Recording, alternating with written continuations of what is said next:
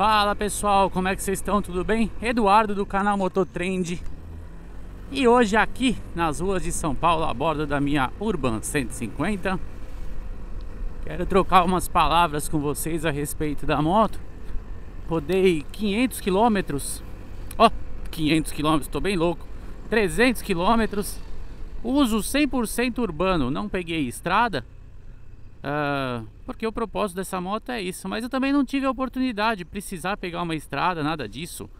Ir para Manchieta, ir para o ABC, né, Paulista, alguma coisa assim. Então não, não houve essa, essa necessidade. Será que tá bom aí? Acho que deve estar tá bom, né? Tá, tá legal. Quero algumas coisas para falar apontar, colocar alguns pontos positivos que eu gostei, alguns pontos negativos. Pontos negativos que talvez sejam da moto, pontos negativos que talvez sejam meus. Uh, começando com vocês aí sobre alguns pontos negativos, algumas coisas que eu não gostei, mas que eu tenho dúvidas se o problema sou eu ou se é a scooter. Então, o primeiro problema que eu inclusive tenho falado com alguns amigos é a questão do banco, né? Que eu achei um pouco duro o banco dessa scooter. Só que são quatro anos andando de X-Max e três anos andando com a X-Max e com a capa da GV Bancos na minha moto. E aí você, eu saio da X que tem rodas maiores, que tem pneus, né, com perfil maior. Venho para Urban com uma, acho que a roda dela é menor, é menor. Uh, sem uma capa da GV, ela é uma scooter mais leve, então é, originalmente ela vai pular mais, sabe? Uh, então, vou sentir mais do que uma X-Max? Vou. Então eu não sei se é costume ou se é realmente isso que eu falo do banco ser duro. Porque ontem, por que eu estou falando isso? Porque ontem eu conversei com um proprietário que me disse que o banco não é duro, que o banco é bom. E aí eu não tenho hoje parâmetro nem com PCX, nem com NMAX para falar se é parecido ou se não é parecido.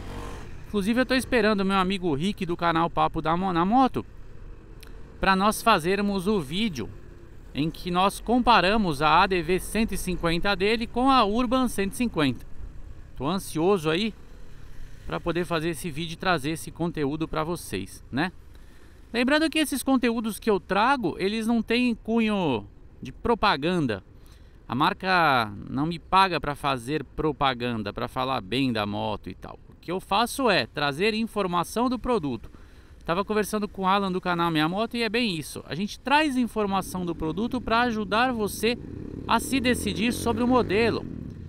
Porque dinheiro não é capim, né? E o nosso dinheiro ele é muito suado. A não ser quem aí é milionário. Se bem que milionário dá mais valor do, ao dinheiro do que quem não tem dinheiro. É bem isso mesmo, né? Então é, é esse é o intuito de rodar com a moto, trazer as minhas impressões. Então, é, Dito isso para vocês, é, teve essa questão do banco que eu senti que, que, que é duro, mas eu não sei se é um problema de percepção minha também, porque tem muito isso, sabe? O tempo inteiro tem gente que, por exemplo, pega uma capa GV Bancos, diz que a capa é boa, o outro pega a capa, fala que não mudou nada, que é ruim. Então é muito da percepção humana mesmo. Outro ponto negativo é quando eu estou com a Fernanda, quando eu ando com garupa. Oh meu Deus, Vou esperar passar essa ambulância. Quando eu ando com garupa, a frente eu sinto a suspensão da frente bater, né? Nas imperfeições da rua e tal. Então não sei se é falta de, de líquido, de óleo no, na suspensão. E quando eu fizer a revisão dos mil quilômetros, eu vou levar para fazer a revisão na, na concessionária e vou pedir para dar uma olhada. Mais uma coisa que está acontecendo aqui que eu também preciso mandar olhar na concessionária é a trava do banco. Eu tenho um pouco de dificuldade de travar o banco na hora que eu paro a moto, que eu abro o baú embaixo. É um pouco duro, então deve ser posicionamento da trava. Eu passei por isso com o X-Max, por coincidência. Acho que o problema sou eu também. Então eu preciso ver essa questão aí da, da trava do banco. Eu acho que basicamente é isso. A questão do painel, eu falei para vocês no outro vídeo, para quem não assistiu, vou repetir. O painel dela ele espelha o celular, mas o celular precisa ficar ligado. E aí tem gente que diz assim, ah, vou deixar ele ligado no bolso com o power bank e tal. Eu achei muito trabalho. Eu, eu sou meio do tipo que o ótimo é inimigo do bom. O que, que eu fiz? Coloquei aqui um suporte. Estão vendo aqui, né? Esse suporte, aí eu peguei um fio pequeno USB que conecta aqui na porta USB. E mesmo assim eu conecto ali na frente. Aí você fala, pô, mas qual que é o sentido de colocar um suporte e espelhar lá na frente? O sentido é o seguinte: quando eu coloco o suporte aqui, primeiro que ele fica mais próximo de mim, o celular. Esse suporte aqui, que inclusive eu vou deixar o link para vocês na descrição, ele é muito, muito firme. E se eu colocasse o celular deitado aqui para eu ficar olhando o Waze, presta atenção, imagine que eu estou aqui, ó, pilotando a moto agora e eu vou olhar para o Waze. Prestem atenção no movimento que a câmera vai fazer agora. Então eu estou andando com a moto, vou olhar para o celular, olha lá, de novo. Para eu poder olhar o Waze no meu celular, eu preciso abaixar a cabeça. Isso acontece nessas scooters. A Animax, por exemplo, é a mesma coisa. Ó, essa distração ela pode ser perigosa. Agora, se eu tô com o Waze na tela, olha isso. Eu tô olhando para frente e só mexendo o olho eu consigo ver o Waze. Então é uma solução que eu encontrei. É uma coisa que poderia ser melhor na Shinerai, poderia ser melhor nas Ontes, né? De você bloquear o celular no bolso, deixar o celular guardadinho, questão de assalto e tal. Mas isso não acontece nessas nenhuma dessas duas marcas. Além do que são as duas únicas marcas que oferecem esse tipo de recurso hoje no Brasil. A gente não tem isso em nenhuma outra. O Connect da Yamaha não serve para porcaria nenhuma, nem da X-Max, nem da, da N-Max. É, apesar de que a X-Max vai ter o Garmin, né, que eu não sei se será pago. E, e se você vai ter informação de trânsito, essas coisas. Porém, nós estamos falando de uma scooter de vai, me, vai custar aí uns 37 mil reais pelo menos em São Paulo. Enquanto aqui você tem uma de 19,5, 20 mil em São Paulo nas lojas Urban, das lojas da Chinerai. Então, é isso. Ponto positivo, cara, quando você compra um produto, você começa a usar, você vai e volta do trabalho, ele te atende muito bem, para mim isso é um ponto positivo. Sabe? A suspensão traseira dela trabalha muito bem. Olha, a suspensão traseira da Urban é melhor do que do Max Max. E me revolta, por exemplo, a Yamaha ter trocado a, a, a ter mudado a N-Max recentemente e não ter colocado uma suspensão a gás na N-Max, porque lá fora tem. Então o que, que os cretinos fizeram? Ah, troca a carenagem, dane, está tudo certo. É bem cara de Yamaha, né? Então a suspensão traseira é muito boa. Ter esse painel para mim é sensacional. Uh, que mais? Ciclística da moto é uma delícia, é uma agilidade danada essa scooter, é muito ágil no trânsito, ela é muito espertinha com esse motor. Então, é isso, ela me leva, me traz, ela cumpre tudo aquilo que eu esperava dela. Então, como é que eu direi? Ah, essa moto é ruim, essa moto não é boa, sabe? Então, eu acho que todas as motos, todo produto que você compra, que ele não te dá problema para você levar para a concessionária, deixar lá, ficar perdendo tempo, pegando Uber para ir voltar, eu acho que esse tipo de, de produto ele é um bom produto, porque ele te atende, né? Que é o que está acontecendo comigo hoje. Tem uma questão interessante dela que eu não sei se vocês vão ver, que é um ícone amarelo aqui, ó. Não sei se aparece para vocês. Que tem o controle de tração ali, tem um ícone que é de pneu murcho e mostra o TC, que é o Traction Control cortado. Eu acho que é sobre o pneu furar, o pneu traseiro murchar e você ela desligar o controle de tração. E um erro da Shinerai é, não tem isso no manual. Né? A Shinerai não colocou isso no manual, ninguém sabe o que é. Eu acho que é isso. Furou o pneu, ficou murcho, o controle desliga. O que, que eu vou fazer? vou parar no posto de gasolina, vou murchar o pneu traseiro e vou ver se muda alguma coisa no painel. E se for, se mudar alguma coisa, se piscar, se sumir, com certeza vai ser isso. Então basicamente é isso. Questão de consumo. Eu não consegui fazer ainda, porque como eu rodei 300 km, uh, foi um tanque, que foi 9 litros.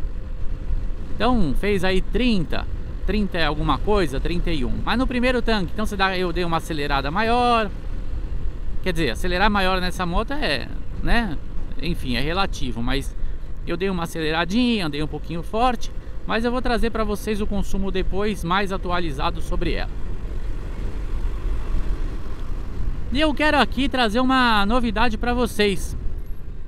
Eu estava pensando sobre a Urban e tem uma polêmica rolando agora, na data de hoje, hoje é 17 de outubro de 2024, no qual a, algumas revendedoras da Shinerai têm feito preços fora da política que a Shinerai tem. Qual é a política da Shinerai?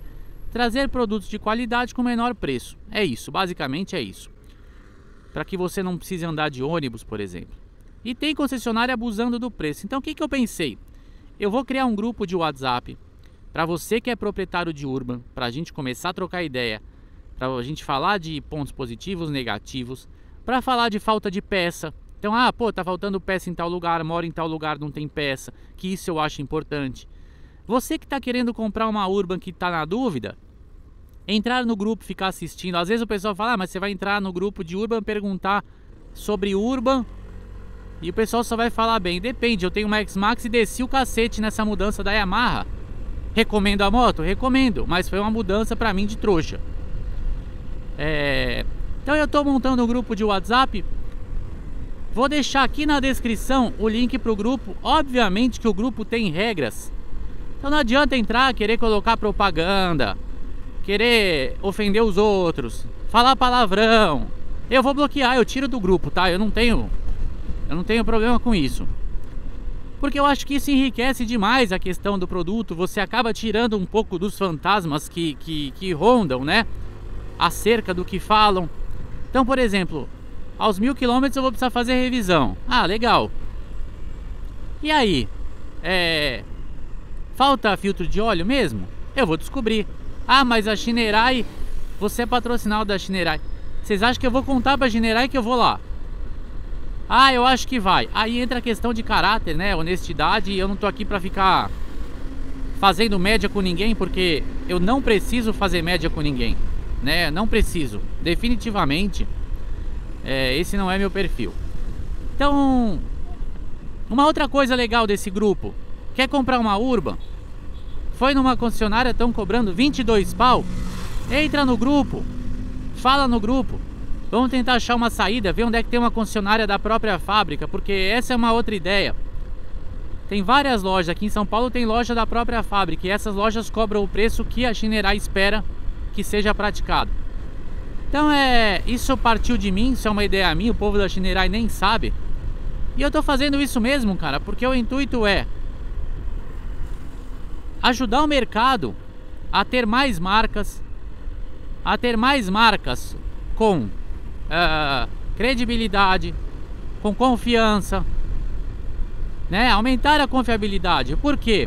Porque nós estamos anos aí dependendo de Honda e Yamaha, e a Yamaha mostrou aí nesses últimos facelifts, porque também não teve lançamento, teve uma elétrica de nicho, que eles estão tão nem aí pro Brasil. E a minha cabeça mudou, tá, pessoal? Muito, muito, muito, já faz um tempo. Em relação à Bajaj, em relação à Royal, e na verdade essa mudança começou com a Royal. Em relação à Shinerai, que eu sempre ouvi falar, cara, a moto não presta, a moto é ruim, a moto quebra, blá blá blá blá blá. Falei, cara, beleza. Agora eu tenho a oportunidade de ter a minha Shinerai e rodar com ela para saber se tudo isso é ou não é verdade. Então, pessoal, tô criando o grupo do WhatsApp. Vou colocar o, o o grupo aqui na descrição do vídeo. Entra lá na descrição, clica lá. Eu estarei lá, obviamente. Você que quiser cotar seguro, entre em contato comigo. Seguro da BNP Seguros. Eu coto seguro, o seu seguro em todas as, as seguradoras. Tá? Estarei lá também para cotar o teu seguro. É... Tá buscando uma mala, por exemplo, para colocar aqui no túnel da tua scooter? Entre em contato com a Max Acessórios. Eu vou deixar Aí também na descrição, contato da Max, eles têm malas para você colocar aqui. Ah, se você não quiser colocar um bauleto, quiser colocar, por exemplo, uma mala lá atrás, no lugar do bauleto amarrada, eles têm opções para vocês. Já conversei com o Guga para ver da GV Banco se ele faz uma capa para Urban 150 também, uh, para eu colocar nela eu tô muito acostumado, né? Eu tenho na X-Max, eu tenho na Tracer, pô, então eu gosto do produto deles, eu gosto da capa da GV, eu acho que ajuda, eu acho que aumenta o conforto da, da scooter. E é isso, então continuo, tô, tô com a moto, andando todos os dias, vou pro trabalho e volto. Uso diário na cidade. Não tenho nada pra que desabone, né? E como eu falei pra vocês, no final das contas, é... a moto precisa que você escolheu, ela não pode dar problema, ela tem que te levar e tem que te trazer do, do trabalho.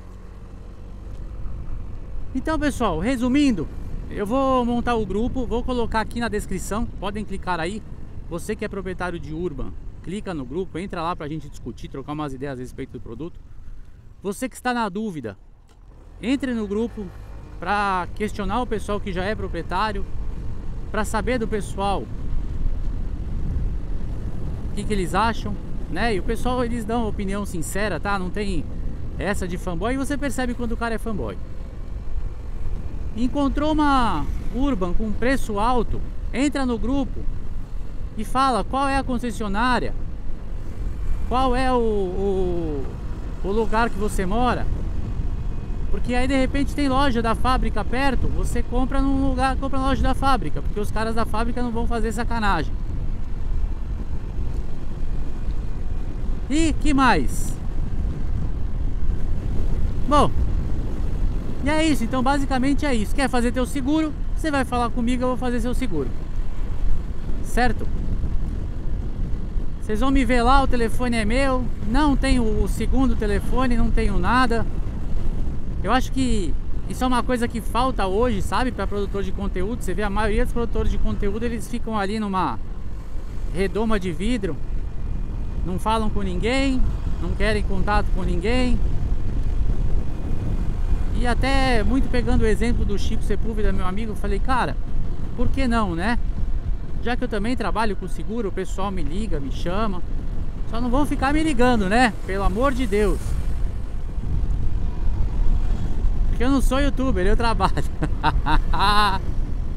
é muito engraçado isso. O que, que você faz? Eu sou youtuber, mas você não trabalha? Essa galera trabalha muito, cara. Independente do youtuber que você segue, do tipo de, de, de, trabalho que ele faz, se é um trabalho de jornalismo, se é um trabalho só de informação, sem opinião. Essa galera trabalha, isso eu posso garantir pra vocês. Certo? Muito obrigado por terem ficado até aqui. Se puder se inscrever no canal, se inscrevam, eu agradeço. Espero que vocês tenham gostado. Entra lá no grupo da Urban do WhatsApp. Beleza? Valeu, pessoal. Muito obrigado. Estamos juntos e até a próxima.